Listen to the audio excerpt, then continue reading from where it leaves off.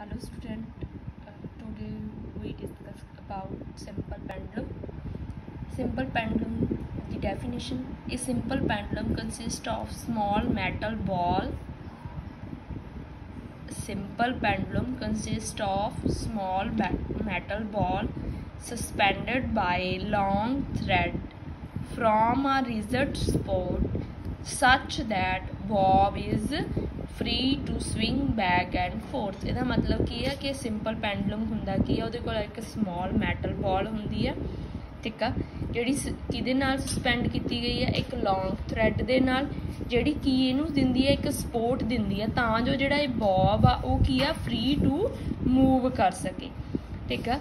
ਤਾਂ ਆਪਣੇ ਕੋਲ ਕੀ ਆ? ਜਿੱਦਾਂ ਦੇਖੋ, ਉਹਨਾਂ ਨੇ ਕੀ ਲਿਖਿਆ ਵਾ?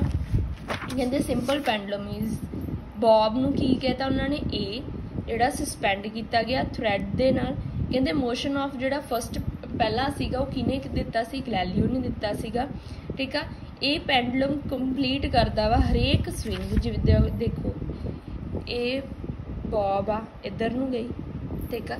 ਤਾਂ ਉਹਨੂੰ ਜਿੰਨਾ ਸੇਮ ਡਿਸਟੈਂਸ ਲੱਗੂਗਾ ਟਰੈਵਲ ਕਰਨ ਨੂੰ, ਇਹ ਡਿਪੈਂਡ ਕਰਦਾ ਵਾ ਕਿ ਬੌਬ ਦੀ ਜਿਹੜੀ ਥ੍ਰੈਡ ਦਾ ਟਾਈ ਕੀਤਾ, ਉਹਦੀ ਲੈਂਥ ਕਿੰਨੀ ਹੈ ਠੀਕ ਆ? ਜਿੰਨੀ ਜ਼ਿਆਦਾ ਲੈਂਥ ਹੋਊਗੀ ਉਨਾ ਜ਼ਿਆਦਾ ਜੀ ਉਹਦਾ ਜਿਹੜਾ ਟਾਈਮ ਹੋਊਗਾ। ਜਿੱਦਾਂ ਦੇਖੋ ਉਹਨਾਂ ਨੇ ਕੀ ਲਿਖਿਆ? ਕਹਿੰਦੇ simple pendulum can be made by trying about 1 metre long thread ਕਹਿੰਦੇ ਸਿੰਪਲ ਪੈਂਡੂਲਮ ਦੇ ਲਈ ਕਿੱਦਾਂ ਬਣਾ ਸਕਦੇ? ਇੱਕ 1 ਮੀਟਰ ਲੌਂਗ ਥ੍ਰੈਡ ਲੈ ਲਓ ਟੂ ਸਮਾਲ ਮੈਟਲ ਬਾਲ ਤੇ ਇੱਕ ਰਿਜ਼ਰਟ ਸਪੋਰਟ ਲੈ ਲਓ, ਤਾਂ ਜੋ ਜਿਹੜਾ ਬੌਬ ਆ, ਉਹ ਫ੍ਰੀ ਟੂ ਸਵਿੰਗ ਕਰਦਾ ਰਹੇ। ਕਹਿੰਦੇ ਫਰਸਟਲੀ ਜਿਹੜਾ ਪੈਂਡੂਲਮ ਆ, ਉਹ ਕੀ ਹੁੰਦਾ ਵਾ? ਰੈਸਟ ਤੇ ਆ, ਠੀਕ ਆ? ਪਹਿਲਾਂ ਬੌਬ ਕੀ ਆ ਮੀਨ ਪੋਜੀਸ਼ਨ ਉਹਦੀ ਕੀ ਹੋਗੀ A ਤੇ ਸੀਗਾ। ਜਦੋਂ ਜਿਹੜਾ ਪੈਂਡੂਲਮ ਆ, ਉਹਨੂੰ ਇੱਕ ਸਾਈਡ ਤੋਂ ਆਪਾਂ ਪੁਸ਼ ਕਰਦੇ ਆ, ਠੀਕ ਆ? ਤਾਂ ਕੀ ਕਹੂਗਾ? ਉਹ ਇੱਧਰ ਨੂੰ ਮੂਵ ਕਰੂਗਾ। ਬੀ ਐਕਸਟ੍ਰੀਮ ਪੋਜੀਸ਼ਨ ਤੇ ਆਜੂ ਫੇਰ ਉਹ ਬੈਕ ਕਿੱਥੇ ਜਾਊਗਾ? ਐਕਸਟ੍ਰੀਮ ਪੋਜੀਸ਼ਨ ਤੇ ਜਾਊਗਾ।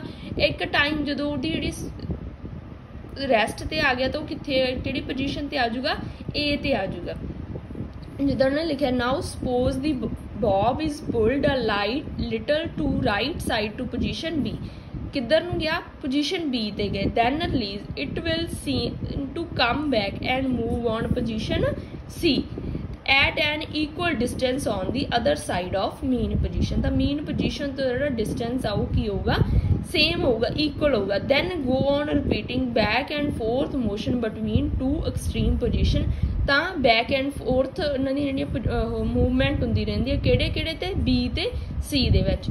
ਤਾਂ to and fro motion of simple pendulum is example of periodic motion ਅੱਗੇ ਅੱਗੇ ਲੈਂਥ ਆਫ ਪੈਂਡਲਮ ਕਹਿੰਦੇ ਲੈਂਥ ਆਫ ਥ੍ਰੈਡ ਆ ਜਿਹੜੀ, ਉਹ ਕੀ ਹੁੰਦੀ ਆ? ਸੈਂਟਰ ਆਫ ਬੌਬ ਤੇ ਹੁੰਦੀ ਉਹਨੂੰ ਆਪਾਂ ਲੈਂਥ ਆਫ ਪੈਂਡਲਮ ਬੋਲਦੇ ਆ।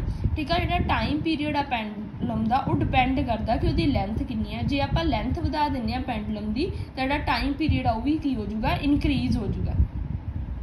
ਅੱਗੇ ਆ ਗਿਆ oscillation ਕਹਿੰਦੇ one complete to and fro movement of pendulum bob is called an oscillation ਮਤਲਬ ਇੱਕ oscillation ਕਿਦਾਂ ਬੈਕ ਜਾਊਗਾ ਤੇ ਅੱਗੇ ਜਾਊਗਾ ਠੀਕ ਹੈ ਜਿੱਦਾਂ A ਤੋਂ B ਤੇ ਗਿਆ B ਤੋਂ ਕੀ ਆ C ਤੇ ਗਿਆ ਤਾਂ ਇੱਕ ਉਹਨੇ ਕੀ ਆ oscillation ਕੰਪਲੀਟ ਕਰ ਲਈ ਜਿੱਦਾਂ ਉਹਨੇ ਲਿਖਿਆ extreme position B to C and back to B is called one oscillation B ਤੋਂ ਕਿੱਥੇ ਗਿਆ C ਤੇ ਤੇ ਵਾਪਸ ਉਹ ਕਿੱਥੇ ਆ ਗਿਆ B ਤੇ ਦੈਨ ਇਹਨੂੰ ਆਪਾਂ ਕੀ ਬੋਲ ਦਾਂਗੇ one oscillation motion of bob from mean position A to B A ਤੋਂ B ਤੇ ਗਿਆ ਦੈਨ B ਤੋਂ C ਤੇ ਗਿਆ ਤੇ ਬੈਕ ਕਿੱਥੇ ਆ ਗਿਆ A ਤੇ ਤਾਂ ਇਹ ਵੀ ਕੀ ਹੋਗੀ ਇੱਕ ਵਨ oscillation ਹੋ ਜਾਂਦੀ ਠੀਕ ਹੈ ਅੱਗੇ ਆ ਗਿਆ time period In the time taken by pendulum bob to complete oscillation is called time period.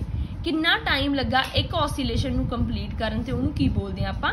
Time period ਬੋਲਦੇ ਆ ਆਪਾਂ ਕੀ ਕਿਹਾ ਸੀ? ਟਰੈਵਲ ਕਰਦਾ ਉਹ B ਤੋਂ C ਤੇ। ਬੈਕ ਕਿੱਥੇ ਆ ਗਿਆ? B ਤੇ। ਤਾਂ ਜਿਹੜਾ ਉਹਨੂੰ A ਤੋਂ B ਤੇ ਜਾਣ ਤੇ ਟਾਈਮ ਲੱਗਾ, ਫਿਰ B ਤੋਂ C ਤੇ ਦੈਨ A ਤੇ ਆਇਆ, ਉਹ ਇਕੁਅਲ ਟਾਈਮ ਪੀਰੀਅਡ ਹੋ ਜਾਊਗਾ ਆਪਣੇ ਕੋਲ। ਅੱਗੇ ਆ ਗਿਆ ਐਂਪਲੀਟਿਊਡ। ਐਂਪਲੀਟਿਊਡ ਕੀ ਆ? ਕਹਿੰਦੇ as a pendulum oscillate to and fro to and fro means ਕੀ ਆ? ਫਾਰਵਰਡ ਤੇ ਬੈਕਵਰਡ ਤਾਂ ਮੈਕਸਿਮਮ ਡਿਸਪਲੇਸਮੈਂਟ ਹੋਈ ਜਿਹੜੀ ਉਹਦੀ ਮੀਨ ਪੋਜੀਸ਼ਨ ਤੋਂ ਦੂਸਰੀ ਸਾਈਡ ਤੇ ਉਹਨੂੰ ਕੀ ਬੋਲ ਦਾਂਗੇ ਆਪਾਂ? ਐਂਪਲੀਟਿਊਡ। A ਤੋਂ B ਤੇ ਗਿਆ, ਉਹ ਕੀ ਹੋ ਗਿਆ? ਐਂਪਲੀਟਿਊਡ ਹੋ ਗਿਆ ਪੈਂਡਲਮ ਦਾ। ਤੇ A ਤੇ C, ਉਹ ਵੀ ਕੀ ਹੋ ਗਿਆ? ਇਕੁਅਲ ਹੋ ਗਿਆ ਐਂਪਲੀਟਿਊਡ ਆਫ ਪੈਂਡੂਲਮ ਨੈਕਸਟ ਆ ਆਪਣੇ ਕੋਲ ਪੈਂਡਲਮ ਦੇ ਯੂਜ਼ ਕਾਦੇ ਲਈ ਕੀਤਾ ਜਾਂਦਾ ਸੀ? ਟਾਈਮ ਨੂੰ ਮੈਜ਼ਰ ਕਰਨ ਦੇ ਲਈ ਕੀਤਾ ਜਾਂਦਾ ਸੀ, ਜਿੱਦਾਂ ਇਹ ਪੈਂਡਲਮ ਕਲੌਕ ਆ, ਆਪਣੇ ਘਰਾਂ ਦੇ ਵਿੱਚ ਲੱਗਿਆ ਹੁੰਦਾ ਸੀ ਕਿ ਅਲਾਰਮ, ਜਦੋਂ ਵੀ ਆਪਾਂ ਅਲਾਰਮ ਸੈੱਟ ਕਰਤਾ, ਜਿੱਦਾਂ 4 ਤੇ ਅਲਾਰਮ ਸੈੱਟ ਕਰਤਾ ਤੇ ਜਦੋਂ 4 ਟਾਈਮ ਹੋ ਗਿਆ, ਤਾਂ ਜਿਹੜਾ ਕਲੌਕ ਆ, ਉਹ ਆਵਾਜ਼ ਦੇਣੀ ਸਟਾਰਟ ਕਰ ਦਿੰਦਾ ਸੀ। ਤਾਂ ਕੀ ਹੁੰਦਾ ਸੀ? ਪੈਂਡਲਮ ਇੱਧਰ ਕੀ ਆ? ਮੂਵ ਕਰਨ ਲੱਗ ਜਾਂਦਾ ਟੂ ਐਂਡ ਫਰੋ ਮੋਸ਼ਨ ਤਾਂ ਆਪਾਂ ਨੂੰ ਟਾਈਮ ਦਾ ਜਿਹੜਾ ਮੈਜ਼ਰ ਕਰ ਸਕਦੇ ਸੀ। ਹੋਰ ਕਿਹੜੇ ਸੋਰਸ ਆ?